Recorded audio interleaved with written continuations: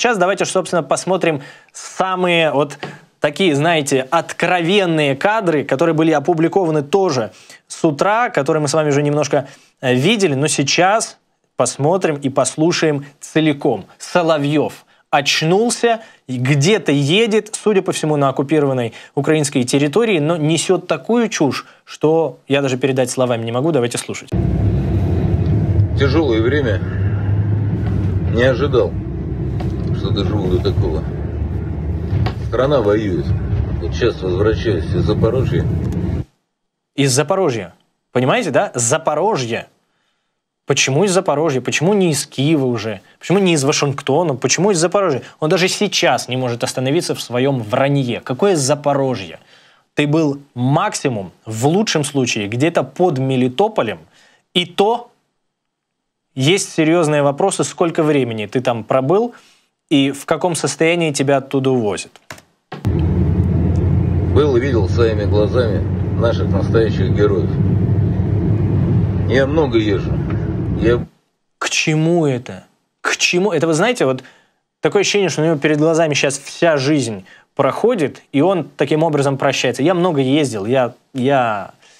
У меня такая жизнь была вообще. Ну, не то, что сейчас. Сейчас вот еду, вынужден догонять колонну вагнеровцев – и даже не знаю, где мне остановиться. Я-то еду из Запорожья, как он говорит, а вагнеровцы-то уже там, за поребриком. Вагнеровцы уже м- пересекли границу так называемой Российской Федерации. Тут вопрос для Соловьева большой. Оставаться на оккупированных территориях и как-то потом с них бежать.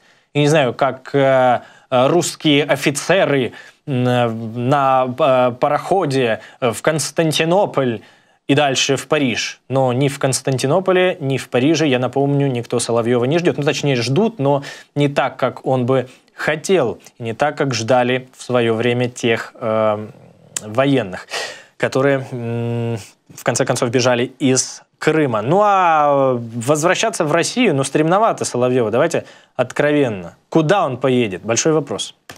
У музыкантов в Солидаре и в Артемовске. Подлизывается. Я видел героев на Запорожье и Херсонщине, Донецке и Луганщине. А что с лицом, Вован? Я видел наших солдат и офицеров добровольческих подразделений, бойцов Красной Армии. Что? Вам же, ну, мы же одно и то же, да, услышали сейчас? Он видел бойцов Красной Армии он уже прикидывается больным, как мы с вами обсуждали. Они сейчас все будут сказываться шизоидами, кем угодно, лишь бы нездоровыми, чтобы их не могли посадить. Ну, мы-то с вами знаем, и мы-то с вами их посадим. Слушаем чушь дальше. Сегодня все вопросы, которые я слышал, были об одном. Что происходит дома в тылу. 25 тысяч человек очень бы пригодились на фронте. Марш 25 тысяч человек, то есть он на полном серьезе подтверждает слова Пригожина. Либо он подыгрывает Пригожину таким образом, потому что у меня было ощущение, что Пригожин преувеличивает э, размер своей армии. Либо он, ну опять же, чокнулся. Ну давайте слушать дальше. Это уже не так важно. Марш необходим на Львов, на Киев. Ага, мы с вами пропустили одну важную вещь. Марш Пять тысяч человек очень бы пригодились на фронте. Марш, марш необходим. На Львов, на Киев. А если понадобится, еще дальше. На Вашингтон. Но когда ты смотришь на то, что происходит, и думаешь, что случилось, что Корниловский мятеж – Слушайте, а почему, я не понимаю, почему у всех абсолютно, даже у этого сумасшедшего, такие ассоциации с 17 годом и с гражданской войной? Ну, наверное, все-таки не случайно.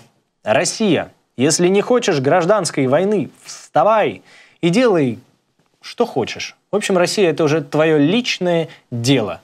Как говорится, мы просили, мы предупреждали. Ну, что посеешь, то и пожнешь.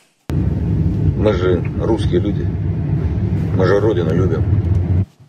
Тут как бы у меня сразу два вопроса к господину Шапиру. Ну, э, наверное, все-таки даже больше ко второй части. какую родину он любит, через что он ее любит э, и в каком месте он ее любит. Ответ, как вы понимаете, э, вопрос риторический, ответа мы не дождемся. Неужели мы позволим сейчас между усобицы страну потерять? Кто сейчас подыгрывает всей этой информационной шумихе? Посмотрите, как радуется ЦИПСО, ликует. Посмотрите. Ликует, да мы, да мы слезы проливаем крокодильи. Мы, боле, мы болеем за ЧВК Вагнера. Это же ветераны э, этой самой спецоперации. Их нельзя дискредитировать. Мы поддерживаем ЧВК Вагнера прямо сейчас. Мы поддерживаем поход на Москву. Как же, как же радуется. Мы, мы вместе с ними горюем, что такие шакалы у, в России у власти, и не только у власти, ну, нам, в принципе, как бы эта вся война не нужна была изначально. Но сейчас ну что сейчас? Ну вот э, горюем, да, очень горюем, крокодилями, слезами, плачем. Что же мы будем делать без России, матушки? Прям, прям сопли пойдут сейчас, не знаю. К чему призывает Ходорковский и вся свора его продажных? Ребята, опомнитесь. Опомнитесь. Враг там. Ну. Враг там. Там. Это не мы. Кто виноват, я не скажу. Про Пригожина ни слова, естественно. Какой-то враг где-то там.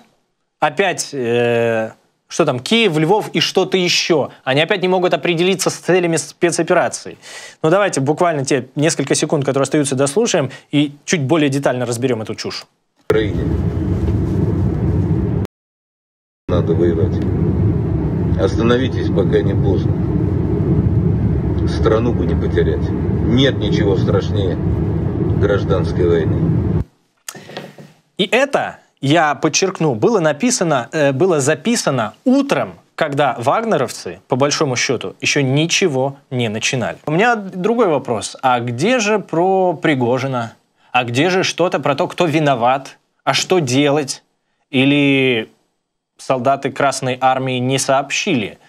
Ты же там общался, ты же видел там каких-то героев. Почему не передали информацию о том, кто виноват? Володя, давайте называть вещи своими именами. Именно так э, в свое время к этому призывал Киселев в своей программе «Твой большой друг». Ну, почему-то нет.